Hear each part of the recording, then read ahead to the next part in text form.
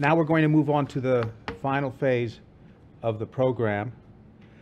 And um, I, I wanted to, to, before Deborah DeMott comes up to, to direct that, I wanted to provide just a, a thumbnail background of where the award has been and what we've, what we've tried to do. Um, It is a broadly uh, defined award for significant accomplishments in the furtherance of fiduciary principles um, in the public sphere, uh, not limited in other, any other general way. So this is our seventh year that we've done this award, and we give you an idea of where we have been. We started off with a, an individual who in some ways is well known at Harvard especially perhaps, but also in corporate governance, uh, Robert Monks uh, was our first uh, awardee in, in 2013.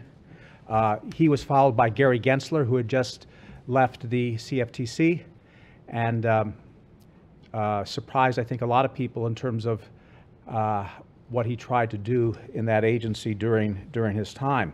And then to come home to, to John's uh, place of, of, of, of work. Um, The next year, we, we awarded David Swensen um, our, our award. And of course, uh, what John referred to was well before David took over the endowment, I'm, I'm sure, uh, in that regard. Uh, Then we went on and, and looked at another former regulator, Phyllis C. Borzi, who had spent eight years uh, uh, doing fantastic work at the Department of Labor to get through that uh, fiduciary slash conflicts of interest rule um, that uh, unfortunately was essentially put aside by the current administration. Uh, Then we worked, uh, looked to a, a, uh, a consumer advocate, and uh, in the world of consumer financial advocacy, there is no one that I think comes close to Barb Roper, who has been with the Consumer Federation of America for over 30 years, um, and where we were two years ago this year, uh, giving her the award.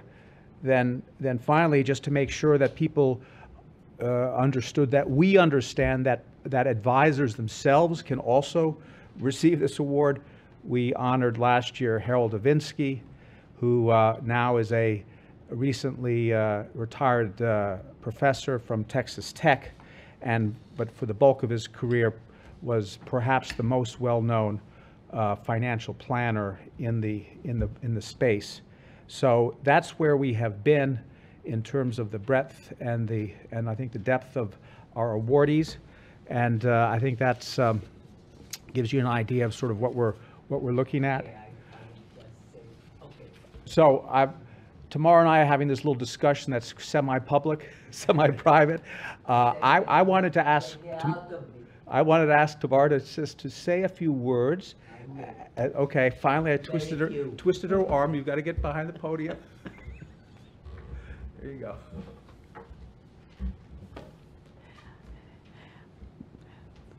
You may know it, but years ago, uh, I wondered where fiduciary law comes from.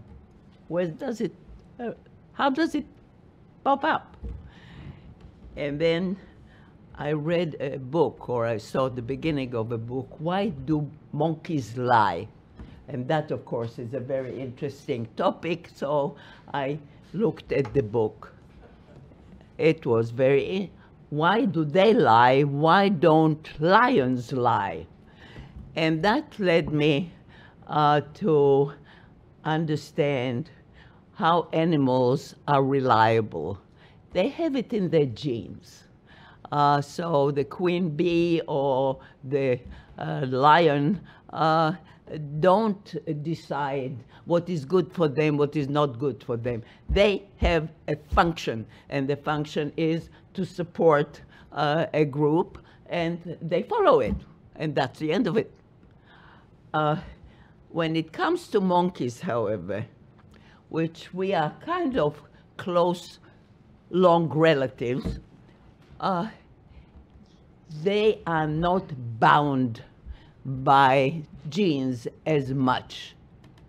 And the result is that when they cooperate, some of them cooperate less than others, but gain more than others.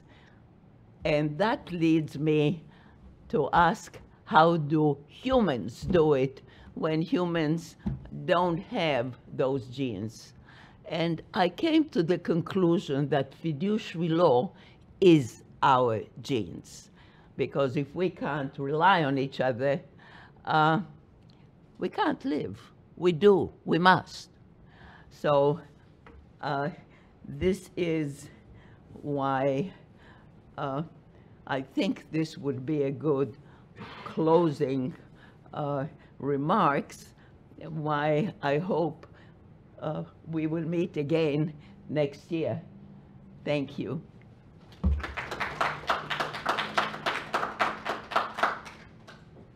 So now I will turn the podium over to Deborah DeMott.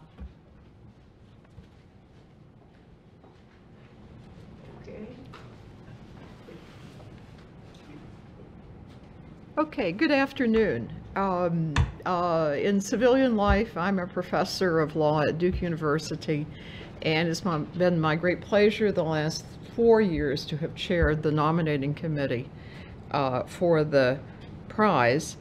Um, just pulling a few things together um, as a preface to awarding the prize.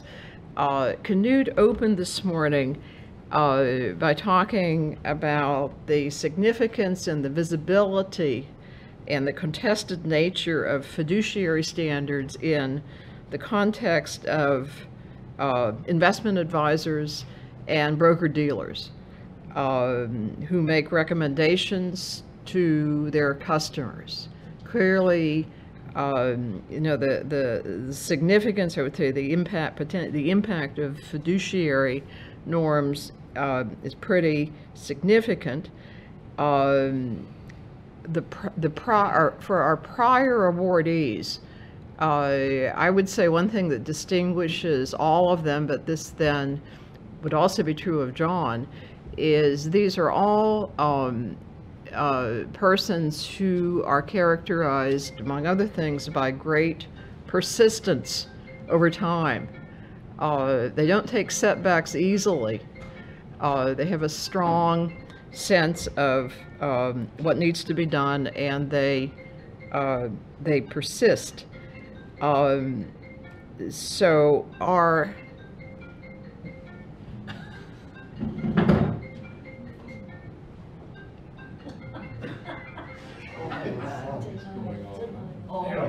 Oh my. It gave up. It gave up. okay. Um, okay. So, uh, the specific linkage uh, between John and at least this dimension of his lifelong work as an academic and in implementation in the in the in the world, um, his writings and the, the and the, the concerns of the institute more broadly, uh, the specific linkage linkages will be illuminated for you by our next three speakers. So we'll first hear from um, Robert Sitkoff, who is the John L. Gray Professor at Harvard Law School. And Rob will be coming up to the podium because he will, in in fact, begin with a remarkably graphic series of images.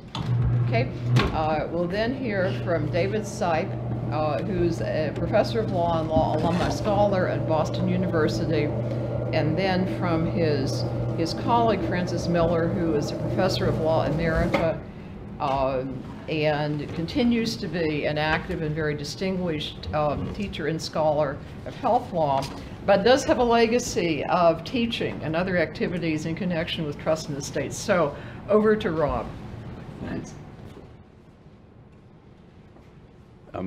Okay, so, uh, thank you. I- I'm Rob Sitkoff. I'm uh, delighted to um, say a few words about uh, John, his work, and and this award, and how this uh, came to be. Those of us who know John personally know he's a devoted husband and father and a true and loyal uh, friend. He's been generous with time and attention for younger scholars. I'm also going to let this thing warm up. Um, what we're here to talk a little bit about is uh, John Scarley work and its intersection with uh, law reform, and in particular the Uniform Prudent Investor Act, the rise of the modern prudent investor rule. I'm going to get a little bit alarmed. This is not waking up.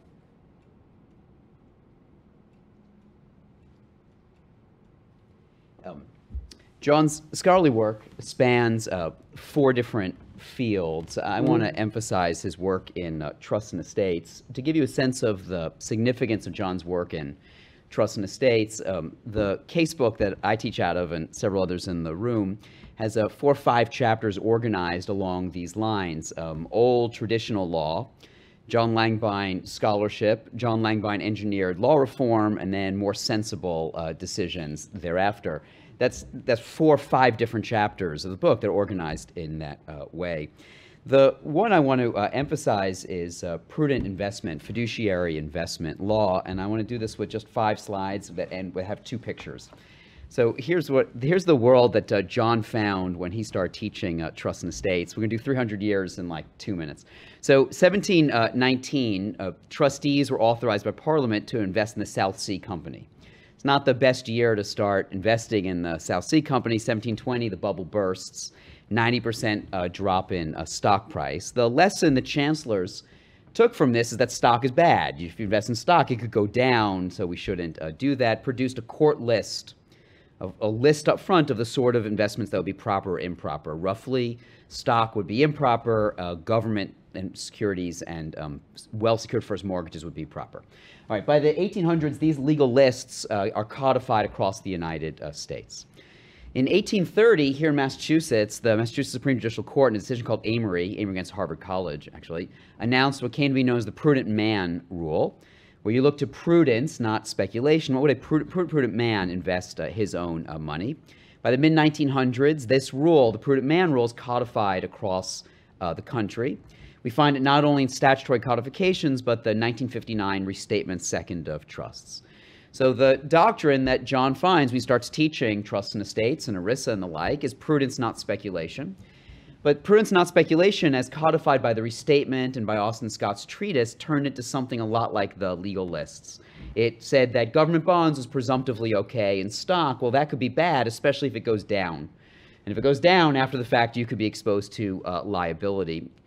So there are several problems with this, right? One is there's a focus on default risk, ignoring inflation risk, reinvestment risk, and the like. This obsession with default risk without accounting for risk tolerance and time horizon and so on. It invited hindsight bias. Uh, a paper I'm going to talk about in a moment, Langbein and Posner identified a case from uh, New Jersey in 1931. Court said that everybody knew in August 1929 that a crash was sure to occur. How could you have held equity, right, when you knew the crash was uh, coming? We looked at investments in isolation instead of the portfolio as a whole. If we understand anything from Markowitz, it's diversification.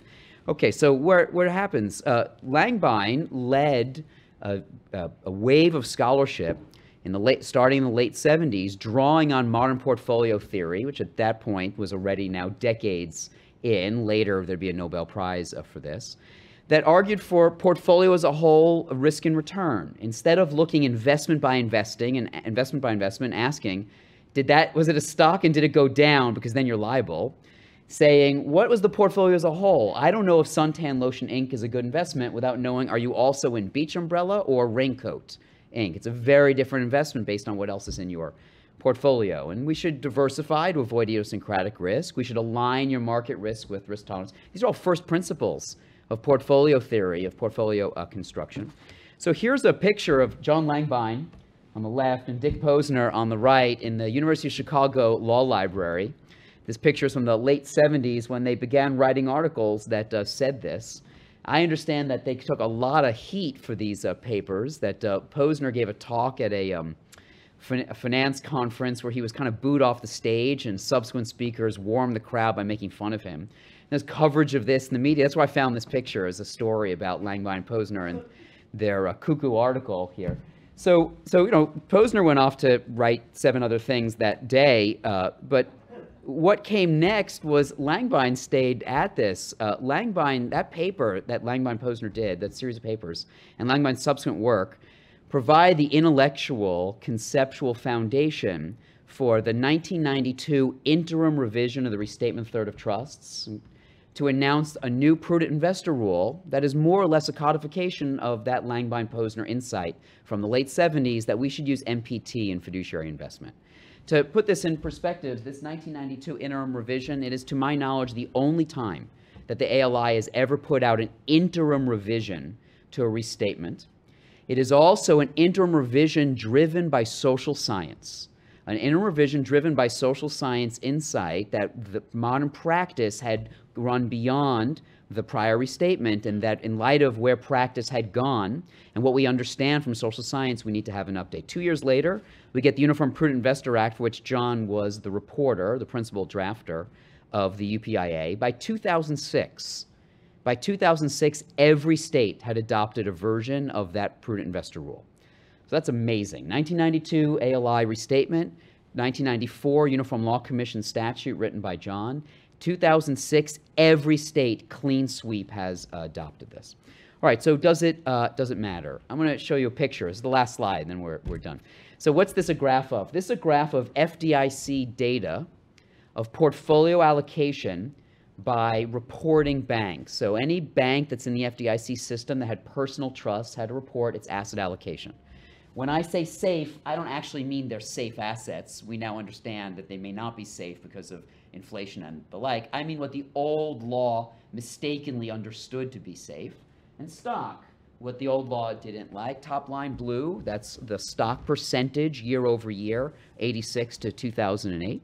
The bottom line red is what the prior law uh, liked. Here's a line for the restatement. Here's a line for the UPIA.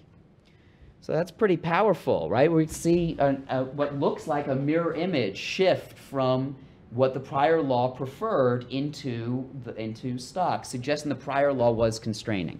So I know what you're saying, graphs can lie, show me regressions. We, we did them. This is true. This, that's what everyone is saying.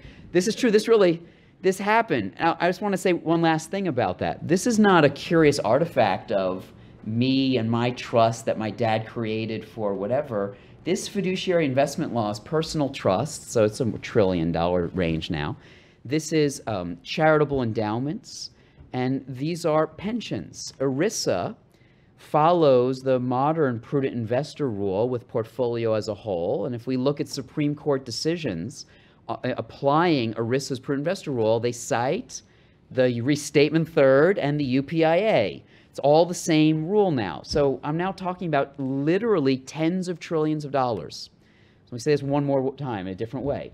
The asset allocation, the day to day fiduciary management of trillions of dollars of fiduciary uh, assets has been altered in a beneficial way thanks to the scholarship and then the law reform undertakings of John Langbein.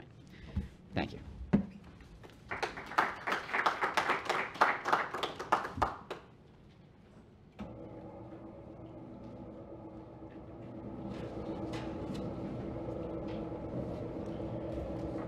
Hello, I'll just say next, I'm David Seipp. I'm here on the faculty of Boston University School of Law, and I, I add to the greetings that we heard from, uh, from uh, Dean Onwuachi-Willig. Uh, BU has been teaching trusts and estates for since 1872 when we got started.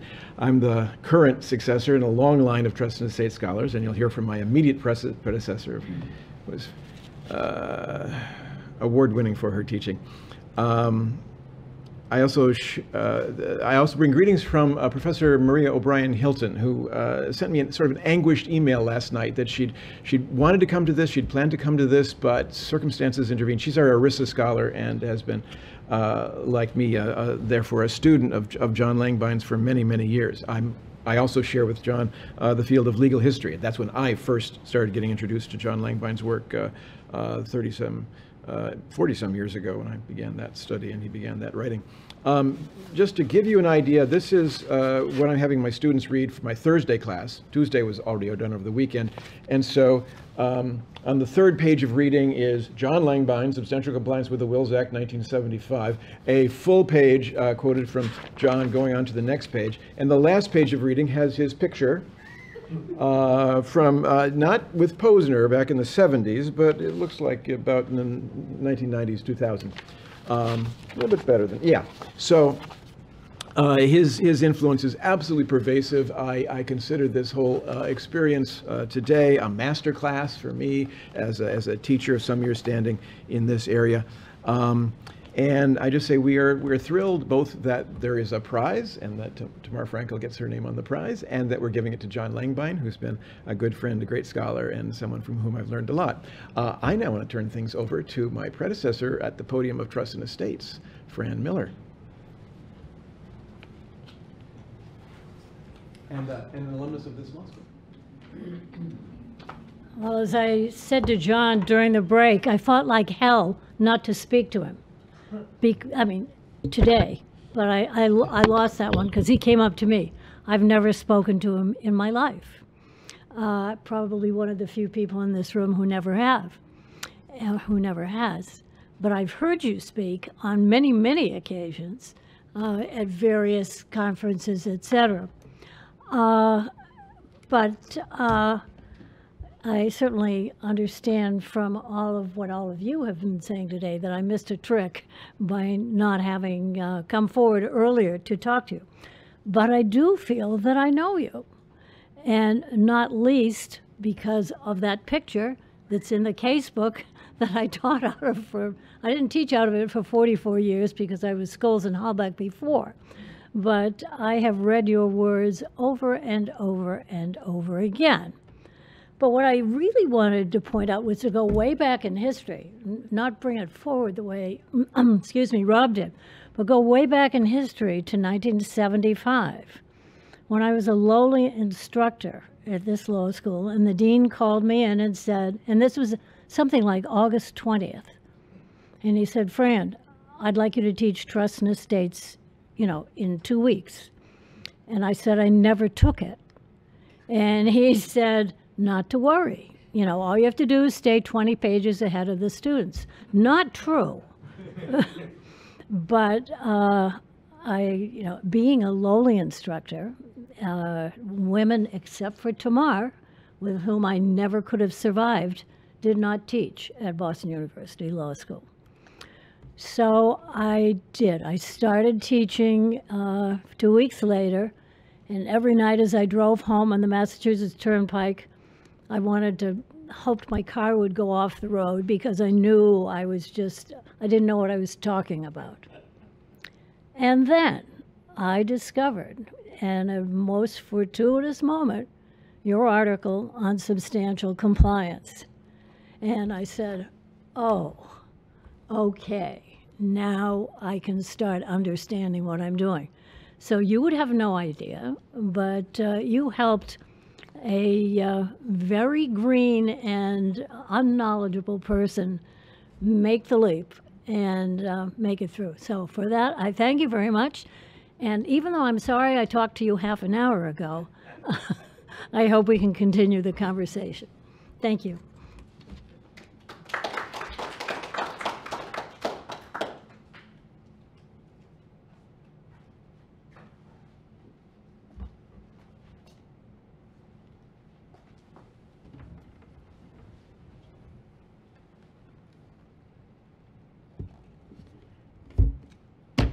Okay, one of the things that's really striking about, um, I think about John and John's work and uh, the last few comments is I think it's, it's, it's all an academic could ever wish for.